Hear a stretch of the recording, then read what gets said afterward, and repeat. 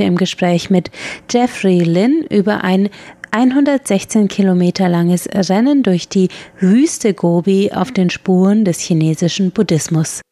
Herzlich willkommen, liebe Hörerinnen und Hörer, zu der heutigen Ausgabe von Rund um die Insel.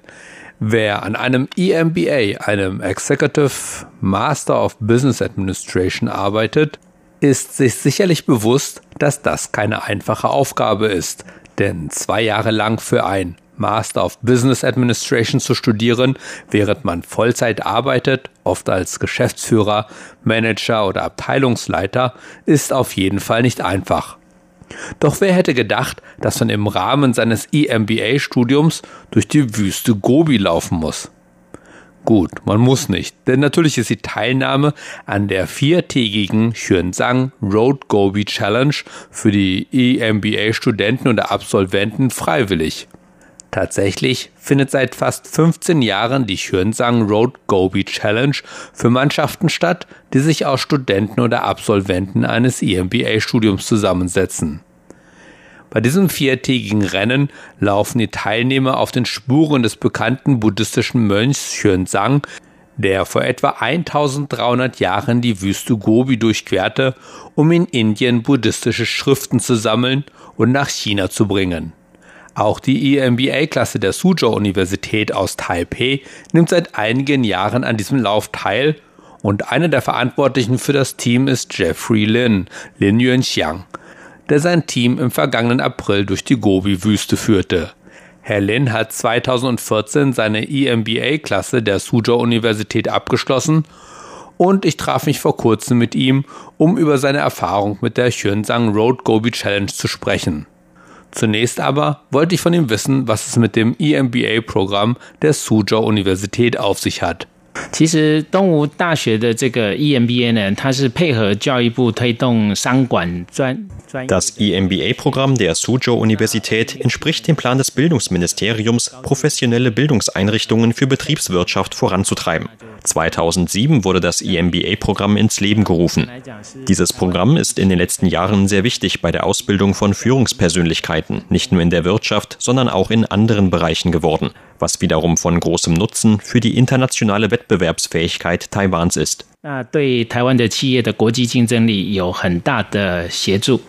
Und können Sie als nächstes die Xuanzang Road Gobi Challenge etwas vorstellen?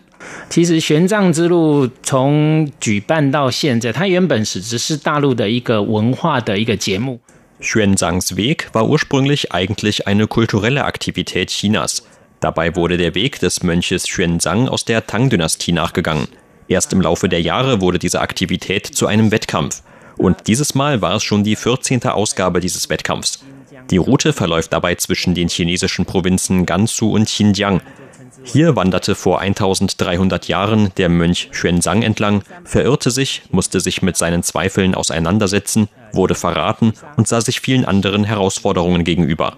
Doch er ging unbeirrt weiter, bis er schließlich seinen großen Traum verwirklichte. Und das Ziel dieser Gobi Challenge für Business Schools ist es, dass man den Geist, die Einstellung von Xuanzang versteht und erlernt. Die Gobi Challenge verläuft über mehr als 100 Kilometer durch die Wüste. Dabei erleben die Teilnehmer, was es heißt, an die Grenzen zu gehen und fordern ihre Körper- und Willenskraft heraus. Dabei ist der Wunsch, dass jeder Teilnehmer durch diesen Wettkampf mit allen möglichen Herausforderungen seine Kräfte und Fähigkeiten entdeckt und entwickelt, um dann den Herausforderungen des Lebens noch besser entgegentreten zu können.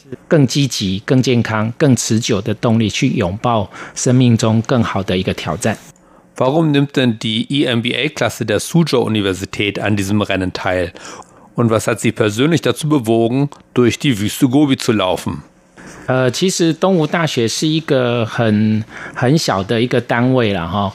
那这个呃，它是私立学校里头。Die Suzhou-Universität ist nur eine kleine Organisation. Sie ist eine private Schule und alle Mitglieder, ob Studenten oder Dozenten der Universität, möchten durch verschiedene Aktivitäten den Bekanntheitsgrad der Suzhou-Universität erhöhen. Und bei der Gobi Challenge nahmen bis vor einigen Jahren nur etwa fünf taiwanische Universitäten teil. Davon war wahrscheinlich die Donghai-Universität die einzige private Universität. Die anderen waren öffentliche Universitäten, wie die Nationale Taiwan-Universität. Wie man weiß, haben öffentliche Universitäten mehr Ressourcen, während es bei den privaten Universitäten etwas knapp ist. Und daher ist so eine Teilnahme an einer derartigen Veranstaltung eine großartige Möglichkeit für eine private Universität wie die Suzhou-Universität, sich bekannter und für sich Werbung zu machen. Das war ein sehr wichtiger Grund für unser EMBA-Programm, an der Gobi Challenge teilzunehmen.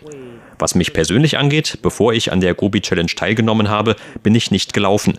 Wegen der Arbeit und dann rausgehen und dabei schwitzen, das fand ich früher sehr nervig.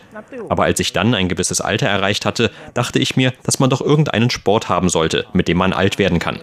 Gerade in dieser Zeit ergab es sich, dass einige Alumni zum Laufen eingeladen haben. Und Laufen ist eigentlich die grundlegendste Sportart. So dachte ich mir, das ist die richtige Sportart, mit der ich alt werden kann und habe dann mit dem Laufen angefangen. Außerdem hat die Suzhou-Universität übrigens noch eine sehr schöne Tradition. 1999 wurde der 24-Stunden-Ultramarathon der Suzhou-Universität ins Leben gerufen. Das ist zusammen mit der Gobi Challenge eine schöne Möglichkeit, den Bekanntheitsgrad sowohl des EMBA-Programms als auch der Suzhou-Universität zu erhöhen.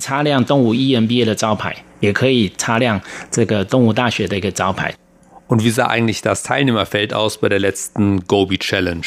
Gibt es außer der Suzhou-Universität noch viele andere Vertreter aus Taiwan? 那今年度呢，各十四呃，总共大概有七十一个队伍，哈。Dieses Mal nahmen 72 Teams von 65 Wirtschaftsschulen teil und insgesamt kamen über 3000 EMBA-Studenten aus aller Welt dazu zusammen. Bei so vielen Teilnehmern ist es eine großartige Möglichkeit, sich mit Studenten anderer Schulen auszutauschen.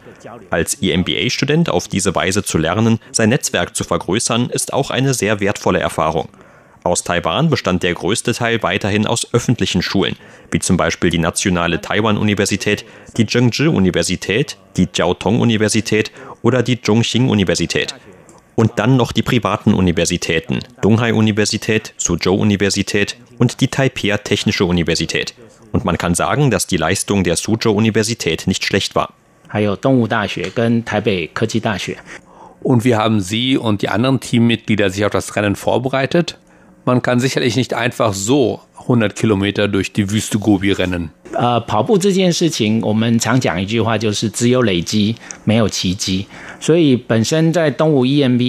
Wenn es zum Laufen kommt, sagen wir oft, es gibt nur ein langsames Ansammeln, aber keine Wunder. So trainieren wir EMBA-Studenten aus Interesse am Laufen seit langer Zeit und verbessern so unsere Ausdauer. Wir treffen uns Dienstagnachmittags, um ein einfaches Lauftraining durchzuführen, auf dem öffentlichen Sportplatz der Taipei Arena in Taipei-Stadt. Das Training ist einfach und auch nicht so lang.